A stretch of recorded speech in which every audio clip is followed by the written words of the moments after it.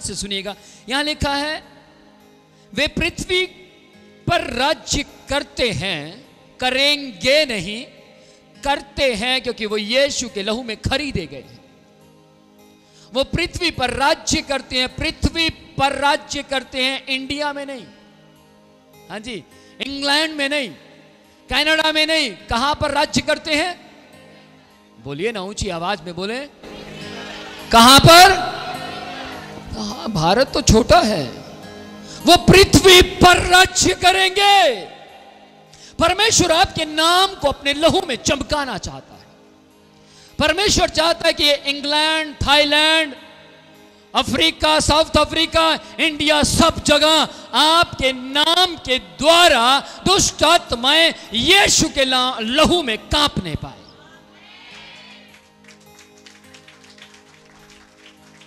आमेन आप क्या चाहते हैं? क्या आप बल्टाना में राज्य करना चाहते हैं? क्या आप हरियाणा में राज्य करना चाहते हैं? आपकी सोच छोटी है। आप चाहते हैं हरियाणा में बस बड़ा घर हो जाए मेरा। परमेश्वर कहता, मैं तुम्हें पृथ्वी का अधिकारी बनाऊँगा। मैं तुम्हें अपनी गोद में लिए लिए फिरूँगा। प्रेज लॉर्ड परमेश्वर कहता मैं तुम्हें अंगूठी के समान अपने हाथ में संभाले रखूँगा। ओ माय गॉड आपकी सोच कैसी है? अपनी जेब को देखकर कहते, प्रभु 700 वाला जूता दे दे, क्योंकि मेरी जेब थोड़ी है। मांग किससे रहे हैं? मांग किससे रहे हैं? सारी कायनात के मालिक से। ध्यान से सुनिएगा, असलियत में हमारी सोच छोटी क्यों है? हम छोटा क्यों सोचते हैं? इसका कारण है, क्योंकि अभी तक हम यीशु के लहू में आकर अधिकारी नहीं बने। एक अधिकारी क्या ऐसी सोच रखेगा? कोई बताए, एक अधिकारी, मान लीजिए हमारे बीच में एक अधिकारी बैठा हो और मैं उससे बात करूँ, आपके पास गाड़ी कैसी है तो वो कौन सी गाड़ी बताएगा? बेस्ट? हाँ या ना? पर मैं आपके साथ गाड़ियों की बात नहीं कर रहा। किस किस को समझ आ रही है? मैं गाड़ी की बात आप सिर्फ़ बंगला बंगला मत पकड़ कर बैठ जाना, बंगला खरीदेंगे बड़ा सा। गाड़ी खरीदे। मैं उसकी बात नहीं कर रहा, मैं आपको कह रहा हूँ कि आपको शैतान की शक्तियों के ऊपर अधिकारी बनना है। आपको नाश करने वाले के विरोध में खड़े होने वाला बनना है। आपको उसका विरोध करना है जिसके लिए यीशु ने आपको खरीदा है। कौन है वो? बोलिए ना, कौन है वो? हाँ जी? कौन है वो?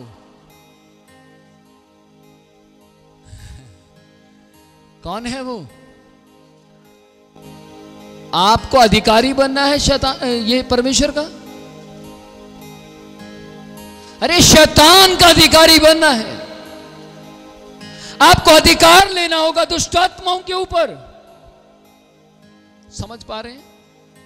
जो दुष्ट आत्माएँ आपके अंदर काम कर रही हैं, आपको उन्हें निकाल कर अपने अंदर परमेश्वर को लाना होगा। जब परमेश्वर आपके अंदर आएगा, तब यीशु का लहू आपके अंदर आएगा। और जब यीशु का लहू आपके अंदर आएगा तब इस दुनिया के अंदर आप कुछ ना होने के बावजूद भी अधिकारी सा महसूस करेंगे। आप गरीब होंगे। आप बिल्कुल गरीब हैं अपने घर में बैठे हैं रिक्शा चलाते हैं लेकिन फिर भी फील होगा आपको फीलिंग होगी कि यार क्या नहीं है मेरे पास। सोचिए थोड़ा सोचिए एक रिक्शे वाले के पास आप जाते हैं और आप जाकर कहते हैं भाई कैसे हैं आप? हाँ, एकदम ब्लस्ड यार अच्छा हूँ। यार आप इस घर में रहते हैं आपका घर तो बहुत अजीब सा है छोटा सा घर है मैं भी झुक के जाता हूँ। तो आपको कैसा लगता है इसमें? अरे भैया आप झुक कर जाइए तो सही अंदर आपको यीशु का लहू मिलेगा।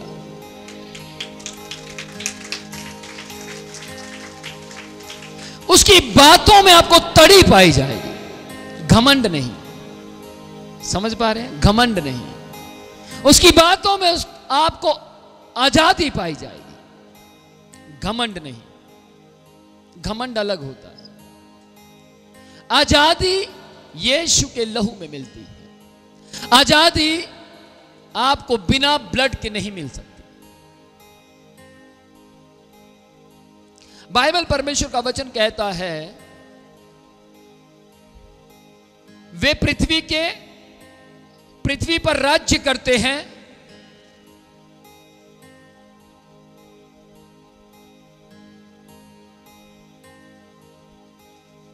ध्यान से सुनेगा वे पृथ्वी पर राज्य करते हैं, यानी मोल खरीदे हुए लोग। पृथ्वी पर राज्य करते हैं। मोल खरीदे हुए लोग राज्य करते हैं।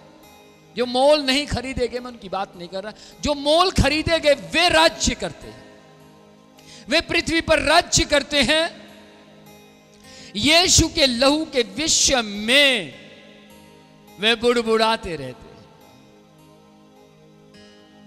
मैन मिस्टर डेविड नाम का एक व्यक्ति बहुत बूढ़ा हो गया। उसकी उम्र करीब तरासी साल की उम्र हो गई।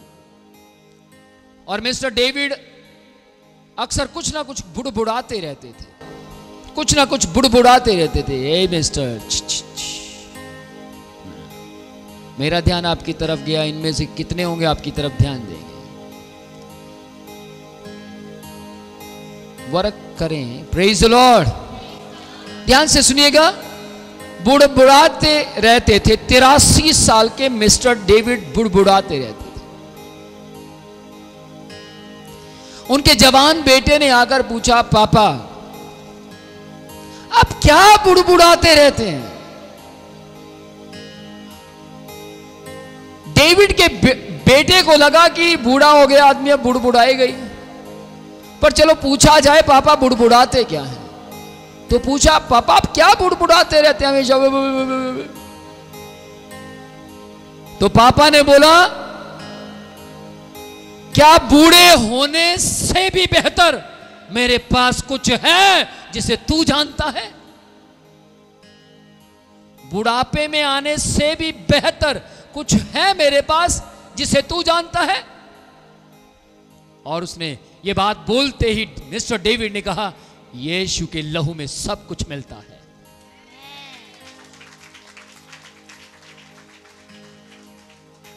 बेटे को पता लग गया, ये यीशु के लहू के, लहू को बुड़बुड़ाते रहते हैं। सिर्फ़ इतना ही बोला था, बेटा लंडर था, बेटा ठीक नहीं था। और बेटा अपने स्थान पर जाता है, सोचता रहता है, लहू के विषय में सोचता रहता है, सोचता रहता है, सोचता रहता है, सोचता रहता है, और उसको मालूम होता है, मेरे पापा डेविड के पास आज तक शैतान इसलिए नहीं आया क्योंकि वो हमेशा बुड़बुड़ाते रहे, यीशु के लहू में सामर्थ है। आमेन आप क्या बुड़बुड़ाते हैं? मेरा फिर से सवाल है आपसे। हाँ? कुछ लोग बुड़बुड़ाते हैं। पता नहीं कब जाएगी बीमारी। मेरी बीमारी नहीं जा रही। कुछ लोग बुड़बुड़ाते हैं, ऐसी कौन सी आत्मा मेरे अंदर है? ये जा क्यों नहीं रही बाहर। बुड़बुड़ाते रहे। इज़राइली बुड़बुड़ाते रहे। ए मूसा, इससे अच्छा तो हम मिस्र में ठीक थे। तू हमें यहाँ जंगल में मारने के लिए लेकर आए बुड़बुड़ाते रहे वो। मूसा, सुने ना सुने, आपस में बुड़बुड़ाते रहे। ये क्या करती है? समझ पा रहे बहुत बार आपको किसी जगह पर खाना दिया जाता है। लोग बुड़बुड़ाने लगते हैं, हर बार चावल ही दे देते हैं। रोटी नहीं देते। जिस दिन रोटी मिलने लगी, चार लोग आ गए, आज आप रोटी दे रहे हैं। बुड़बुड़ाना। आपने देखा होगा कई बच्चे खाने के टाइम में बहुत बुड़बुड़ाते और माँ बाप क्या की कह रहा की कह रहा की कह रहा? नहीं कुछ नहीं। बुड़बुड़ा ध्यान से सुनिएगा। बुड़बुड़ाना डेविड से सीखिए। बुड़बुड़ाना विनोद प्रोचिया से सीखिए। बुड़बुड़ाना विनोद प्रोचिया के परिवार से सीखिए। बुड़बुड़ाना इस चर्च से सीखिए। इस कलीसिया से सीखिए। इस कलीसिया में बहुत से लोग बुड़बुड़ाते हैं, लेकिन एक ही बात कहते यीशु के लहू की इच्छा है यीशु का लहू मुझे बनाता है। प्रेज लॉर्ड अगर आप दुनियावी बातों को लेकर बुड़बुड़ाएँगे तो आपका नाते टूट जाएँगे। आपकी रिश्तेदारियाँ बिगड़ जाएँगी। यीशु के नाम के लिए, लहू के लिए बुड़बुड़ाए।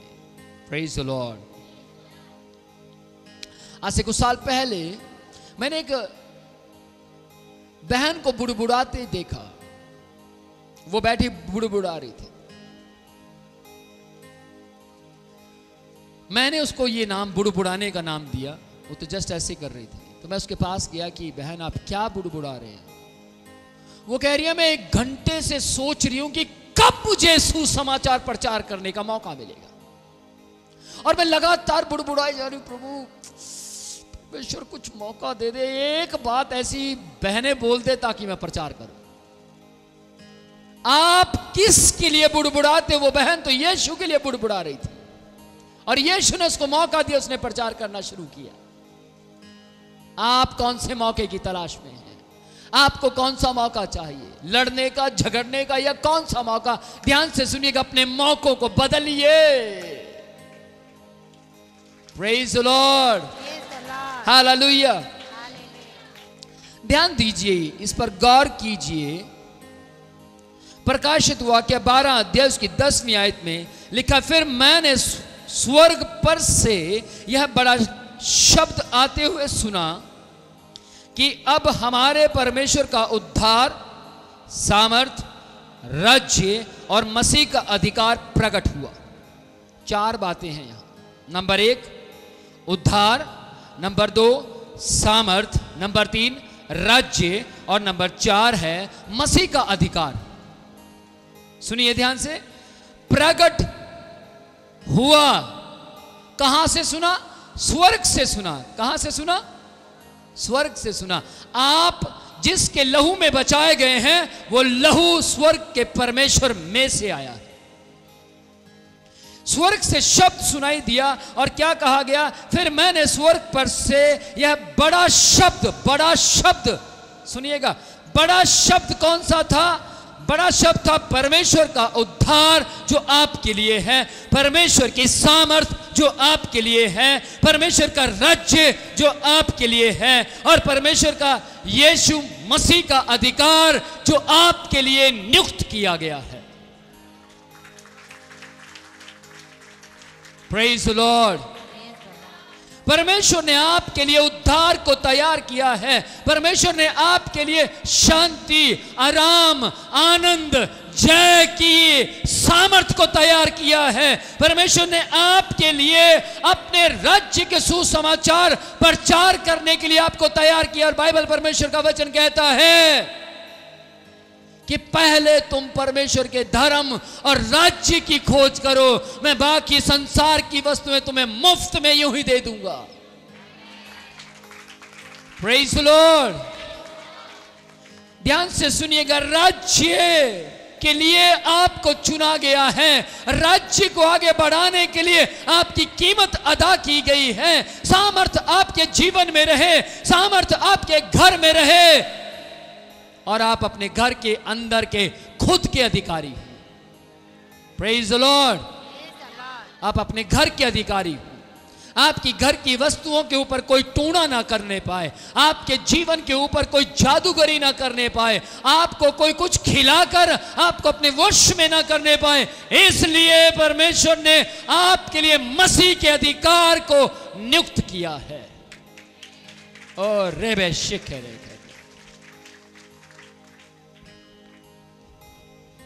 क्या समझ पा रहे हैं?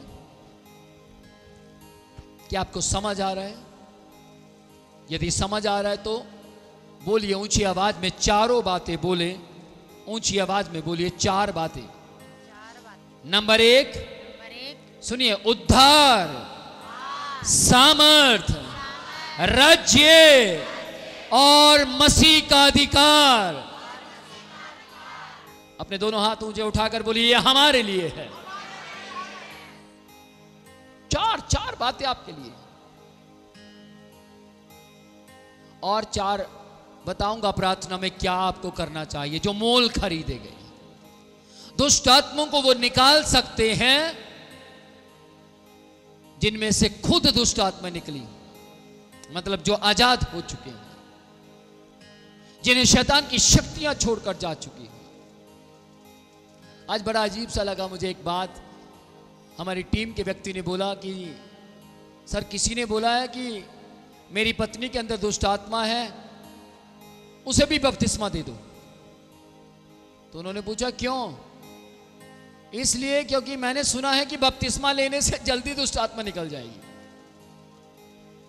तो उन्होंने बोला, टीम के, हमारे डिकन ने बोला चर्च के, कि, भैया, ऐसा नहीं होता। अगर ऐसा होता तो हम सबको बपतिस्मा अब तक दे चुके होते। क्या यीशु मसीह ने जो दुष्ट आत्माओं से जकड़े हुए थे जिनमें दुष्ट आत्माएँ थी छुटकारे के लिए उनको बैप्टिज्म दिया? ऊँची आवाज़ में बताएँ। और ऊँचा? नहीं। तो आज क्या हो रहा है? छुटकारा बैप्टिज्म से नहीं यीशु के लहू से होता है। यीशु के लहू से छुट